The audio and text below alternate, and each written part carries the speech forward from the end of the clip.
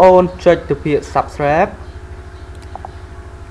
ហើយចុចសញ្ញាកណ្ដឹង ដើម្បីទទួលបានព័ត៌មានថ្មីៗជារៀងរាល់ថ្ងៃដូច្នេះសូមតាមដានព័ត៌មានដូចតទៅជ្រាបសួរពុកម៉ែបងប្អូនទស្សនិកជនកម្មការ Channel របស់យើងខ្ញុំដោយក្តីស្រឡាញ់រាប់អានដល់ខ្ពង់ខ្ពស់ពីមហាជនផងដែរ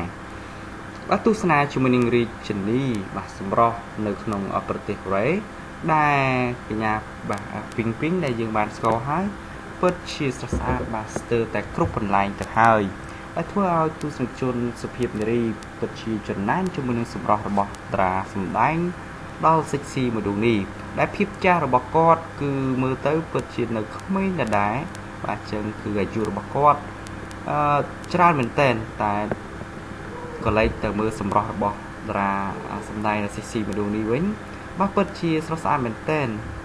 បាទចឹងទស្សនាកំសាន្តទាំងអស់គ្នា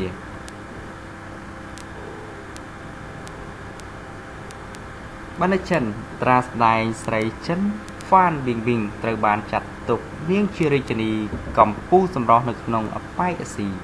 ដែលជាតារាស្រីម្នាក់មានកេរ្តិ៍ឈ្មោះល្បីល្បាញបានជាងយូរជាងគេ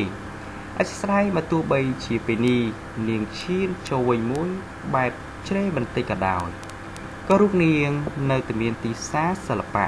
មិនថាការងារក្នុងប្រទេសនិងក្រៅប្រទេសនោះទេ គឺនាងតែងតែមានមុខជានិច្ចជាមួយនឹងកម្មវិធីធំធំសម្រាប់ការហៅថតពាណិជ្ជកម្មជាមួយនឹងត្រា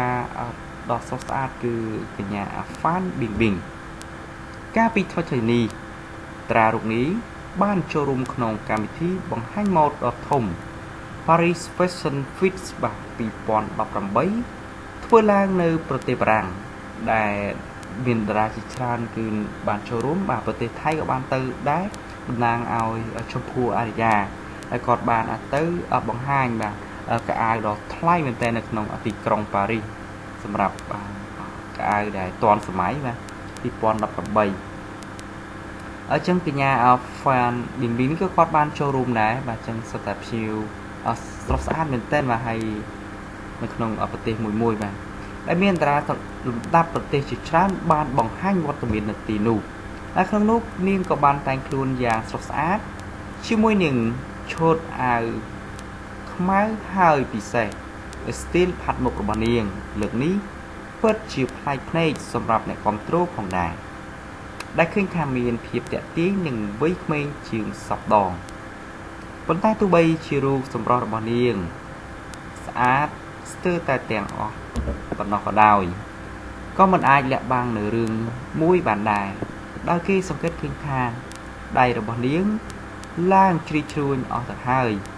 ដែលវាជាសញ្ញាបង្ហាញភាពចាស់នឹងឈានចូលវ័យខ្ទង់40ឆ្នាំហើយបើចឹងបាទចឹងពិតជាធ្វើឲ្យបាទ មហាជនជាច្រើនសង្កេតបាទទាំងផ្ទៃមុខជាមួយនឹងដៃជើងពេលនេះ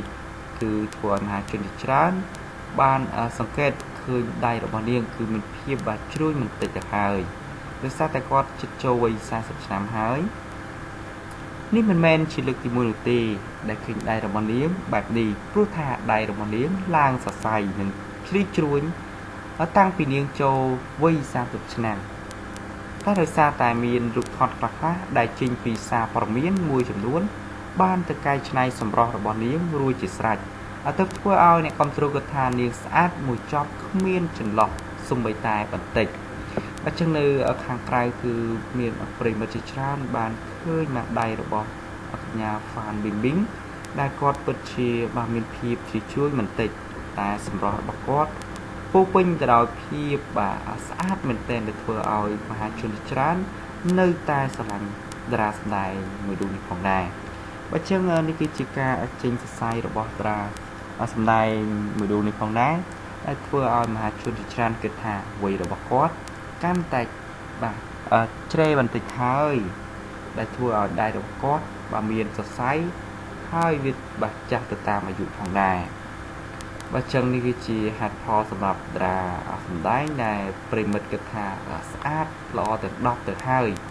បាទទាំងមុខមាត់បាទនិយាយទៅទម្រង់មុខរបស់គាត់គឺមិនចប់គឺបានទាំងអស់ចឹងគាត់គឺជាតារាស្រីដ៏ស៊ីស៊ីនៅក្នុងបាទប្រទេសចិនផងដែរបបាទព័ត៌មានមួយនេះសូមបញ្ចប់ត្រឹមនេះទស្សនាជាមួយនឹងព័ត៌មានថ្មីមួយទៀត បាននិយាយអំពីអមផាត់សារផានេះវិញនៅពេលដំណើរផ្សាររបស់ត្រាស្ដាយមនុស្សនេះមិនខ្វល់បាទគឺជាលក្ខណៈឯកជនជាមួយនឹងមិត្តភ័ក្តិតែគាត់បានដើរលេងពិតជាសប្បាយរីករាយខ្លាំងមែនទែនសម្រាប់ការចំណាយថវិកាគឺមិនខ្វល់សម្រាប់ការដើរលេងនៅក្នុងរដូវកាលនេះបើចឹងយើងទៅងាកទៅមើលបាទខោអាវក្រៅរបស់អាមផាត់ឆារផានេះដែលមានឈ្មោះថា Prada ដែលតម្លៃអាវក្រៅរបស់អត្រាសម្ដែងមួយរូបនេះញាក់សាច់តែម្ដងដែលតម្លៃរបស់វាគឺត្រឹមតែ4550ដុល្លារតែប៉ុណ្ណោះសម្រាប់អាវរងាខាងក្រៅដែលធ្វើឲ្យទស្សនិកជនគិតថាដាត្រៃរូនេះជួយចិត្តប្រើរបស់របរសម្ភារពាក់សុទ្ធតែ brand brand ដែលមានតម្លៃថ្លៃថ្លៃមែនទែនគឺវាមិនធូរថ្លៃនោះទេគឺរហូតដល់75,000ដុល្លារហើយបាទអញ្ចឹងអាចទិញមករថយន្តធំតូចមួយផងដែរបាទទស្សនាកំសាន្តទាំងអស់គ្នាជាមួយនឹងអាមផាត់សារផាដែលគាត់បានធ្វើដំណើរទៅលើនេះថាទៅជាលក្ខណៈឯកជនឬក៏ទៅជាលក្ខណៈថតបាទខ្សែភាពយន្តនោះទេបាទនៅបារាំងមួយរយៈពេលនេះអាមផាត់សារផាបានធ្វើដំណើរកំសាន្តទៅកាន់បណ្ដាប្រទេសផ្សេងផ្សេងជារឿងហើយបច្ចុប្បន្ននេះនាងកំពុងតែស្នាក់នៅប្រទេសបារាំងផងដែរដោយក្នុងនោះ នាងក៏បានទៅលេងទីនោះជាមួយនឹងមិត្តសម្លាញ់របស់នាងប៉ុន្មានរូបយ៉ាងសប្បាយរីករាយជាមួយគ្នាថែមទៀតផងទន្ទឹមនឹងនេះដែរនាថ្ងៃដំបូងនៃការធ្វើដំណើរកម្សាន្តទៅលេងប្រទេសបារាំងលើកនេះនាងក៏បានស្លៀកពាក់នៅឈុតមួយដែលមានតម្លៃសរុបរហូតដល់ខ្ទង់1000ដុល្លារហើយចំពោះតម្លៃនៃការតុបតែងខ្លួនរបស់នាងទាំងអស់នេះវាអាចនឹងមានតម្លៃទឹកប្រាក់សរុបស្មើនឹងតម្លៃឡាន ធុនតូចមួយគ្រឿងទៅហើយដូច្នេះឡានដូច្នេះបាទសំទោទាំងអស់នេះក៏អាចបញ្ជាក់បានថានាងគឺជាមនុស្សស្រី ដែលមិនត្រឹមតែមានកេរ្តិ៍ឈ្មោះល្បីល្បាញនោះទេប៉ុន្តែនាងអាចថែមទាំងជាមហាសេដ្ឋីស្រីវ័យក្មេងថែមទៀតផងជាមួយនឹងសម្លៀកពាក់ជាមួយនឹងបាទគ្រឿងសម្អាងរបស់តារាស្ដាយមនុស្សនេះ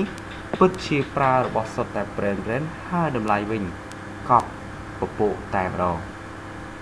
បាទគ្រាន់តែអាវក្រៅរបស់អាមមួយទេបាទគឺរហូតដល់បាទ4000ជាងអញ្ចឹងពិតជាតម្លៃញាក់សាច់ជាមួយនឹងអាំផាត់ស្រាផាទៅលើកនេះជួយនឹងមិត្តភ័ក្តិបាទប្រុសស្រីជាច្រើនបានចូលបាទដំណើរកំសាន្តលើកនេះគឺទៅបាទ5នាក់ផងដែរដែលពិតជាសប្បាយនៅក្នុងទីក្រុងប៉ារីសតែតារាសម្ដែងស្រីមួយរូបនេះគាត់បានទៅដើរកំសាន្តនៅ ក្នុងនោះផងដែរហើយពេលនេះគឺតារាសម្ដែងស្រីរូបនេះក៏គាត់មិនទាន់បានវិលមកប្រទេសថៃវិញដែរបើចឹងព័ត៌មានរបស់អាមផាត់សារផាមួយនេះសូមបញ្ចប់ត្រឹមនេះយើងទៅទស្សនាជាមួយនឹងព័ត៌មានមួយទៀតអំពីឌូវនិច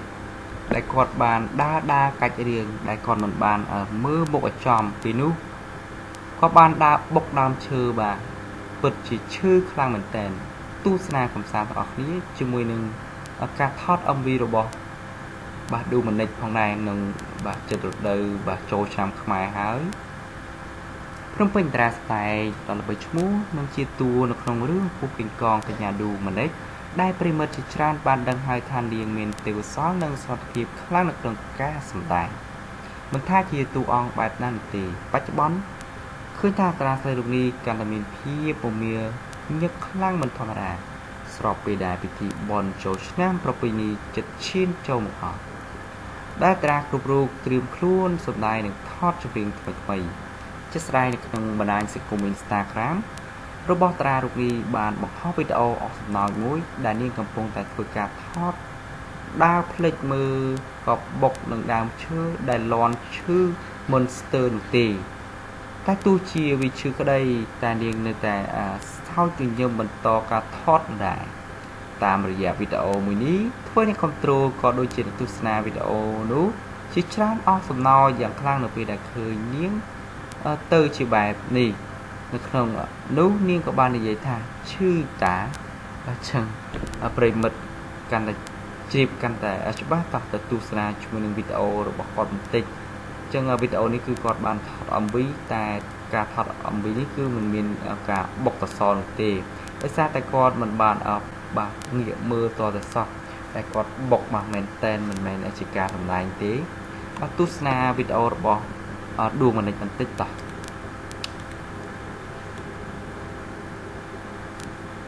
បាទបាទសូមម្ដងទៀតអញ្ចឹងសូម play ឲ្យទស្សនិកជនម្ដងទៀតសម្រាប់ការមើលបុករបស់ ដូម៉ានិកតោះ